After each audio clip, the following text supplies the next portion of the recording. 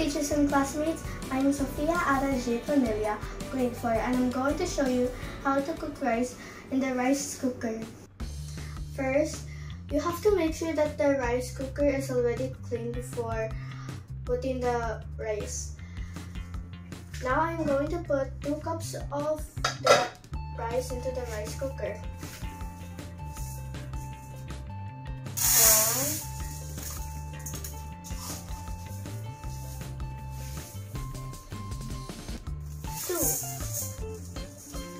Second, we are going to wash the rice two times.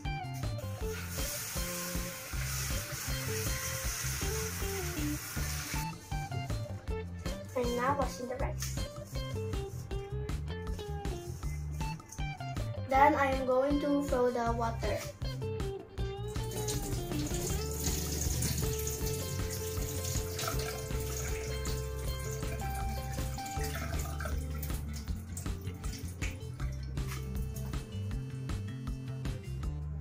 Now I will wash it second time.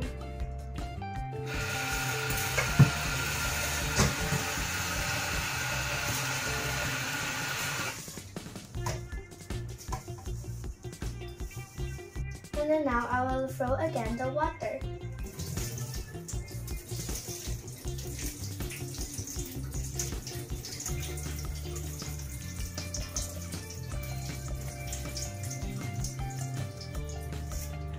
Now I'm going to put the water and measure.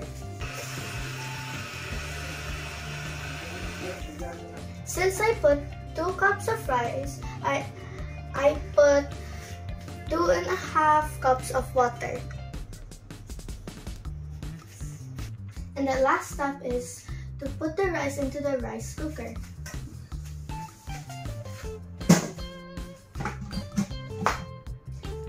Now we are going to turn on the rice cooker and don't forget to to push this down. That's it.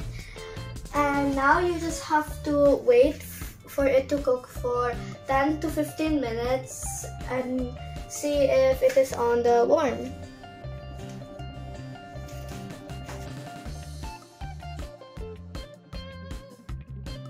Look, now the rice is cooked. Make sure to turn it off when it's finished. Now I'm gonna get some floofy. It's very floofy.